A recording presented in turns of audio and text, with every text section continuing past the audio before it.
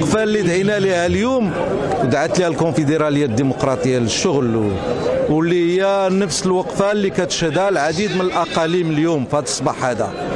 هي اولا من أجل اولا مسألة ديال الالتزامات ديال الحكومة في الحوار الاجتماعي اللي تم التوقيع عليه في 30 أبريل مع المركزيه النقابية. الحكومة الآن آه، غيبت النتائج ديال الحوار والالتزام بتنفيذ المقتضيات ديالو وعلى رأسها مسألة ديال الزيادة في الأجور الطبقه العاملة مسألة ديال آه، مراجعه النظام الضريبي على الدخل مسألة ديال النزاعات الاجتماعية اللي مزمنة في واحد العديد ديال القطاعات وفي واحد العديد ديال المدن وفيها الالتزام اللي مرتبط بالحريات النقابية والمعالجة ديالها. كاين مكاتب نقابية كتأسس ما عندهاش وصولات إيداع. كاين قطاعات اللي ما مفتوحش فيها حوار قطاعي. كل هذا الشيء هذا كيدعي أنه كذلك مسألة ديال المحروقات والغلاء ديال الأسعار اللي اليوم الطبقة العاملة والكادحين في هذه البلاد تكتاويو بالنار ديالها واللي المطلوب كذلك من الدولة تغيير السياسات ديالها واللي اليوم اللي كنقولوا قانون المالية اللي اللي, اللي غادي اليوم أنه كي كي كيخدم المصالح ديال ديال الطبقة ديال البرجوازية على حساب وبنفحات ديال التوجيهات ديال صندوق النقد الدولي اللي ما كيخدمش المصالح ديال العمال والمصالح ديال الكادحين. لهذا اليوم هي إشارة هي وقفة احتجاجية من أجل دفع الحكومة الالتزامات تنفيذ الالتزامات ديالها. اذا كريمة بن صفية عضو سابق للمكتب التنفيذي للكونفدراليه الديمقراطيه للشغل.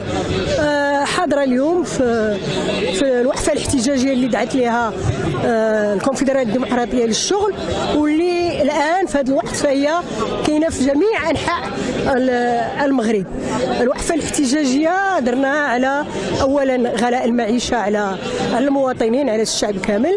ثم عدم استجابة الحكومة لتراجع الحكومة على الاتفاق ديال 30 أبريل اللي اتفقت فيه مع النقابات.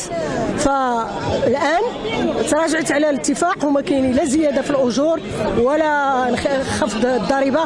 داكشي ضئيل بزاف ما عندوش علاقه بتاتا بالزيادات المهولة اللي في اللي هنا الآن في الأسعار واللي بطبيعه الحال سببها هي زيادة في المحروقات. جميع الدول خدات قرارات باش باش تحل المشكل الاجتماعي للشعوب ديالها إلا الحكومة ديالنا فهي ما ما دارت حتى شي حاجة بالنسبة لهذا الشعب. وهذه وقفه احتجاجية إنذارية أولية وباقي تبعها تبعها نضالات أخرى في نفس على نفس المشكل. أه محمد بالصفر كتيب الجوامع الكونفدرالية الديمقراطيه الشغل هذه الوقفة ديال اليوم أه كطبقة شغيلة بصفة عامة وكمهني ديال سياره الاجره كنعبروا على هذه الوضعية الكارثية اللي كيعيشوها المغاربة. لأن هذا وضع وضع كارثي كنعيشوه. هاد هاد الطلعات الصاروخية سواء ديال الغازوال أو ديال المواد الغذائية ما نقبلوهاش. لأن الحكومة البرنامج ديالها ماشي هو هذا. البرنامج ديال الحكومة النهار الأول كانت كتكون كتقول بأنه غتحدى الصعوبات اللي كيعيشوها المغاربة. ولكن اليوم شفنا العكس. شفنا بأنه الحكومة جات على أساس باش ربما تقضي المصالح ديالها ماشي المصالح ديال المواطنين. اذا أنا كنطالبوا الحكومة باش توقف على هذه المزالة لأن هذه المزالة دي ما غنقبلوهاش. كمهنيين سياره الاجره ولا كمجتمع. كمجتمع لأنه نهار الأول الحكومة جات كتكذب على المواطنين. اليوم كيتبين حاجة أخرى بأنه هذا الغلاء هذا وهذه الطلعات الصاروخية وهذا المشكل ديال الغازوال وهذا يعني هذا هذا العبث هذا. هذا الحكومة بينات على أنه البرنامج السياسي ديالها ماشي هو هذا. بينات على أنه كانت كتكذب على المواطنين. بالفعل.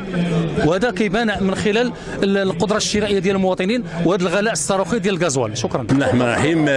أم عياش عبد الرحيم كاتب عام وطني للنقابة الوطنية المهنيه سياره الأجرة منضويه تحت الكونفدراليه الديمقراطية للشغل اليوم جينا ندير واحد الوقفة احتجاجية حول هذه زياده الأسعار والزيادة في المواد الأساسية. إذا حنا كطبقة ضعيفة لأن ضرينا من الدرجة الأولى. ثانيا تنطالبوا بتسقيف من رئيس الحكومة تنطالبوا بتسقيف زيادة في المحروقات كاحنا مهنيين سيارة الأجرة. لأن هذا الشيء ضرينا في القوت اليومي ديالنا. آه ثالثا تنطالبوا من السلطة باش تعطينا واحد تحط لنا المكاتب ديال المكاتب ديال الفروع المكاتب الإقليمية باش باش تعطينا الإخوان ديالنا باش يخدموا في العمل النقابي يجتهدوا في العمل النقابي.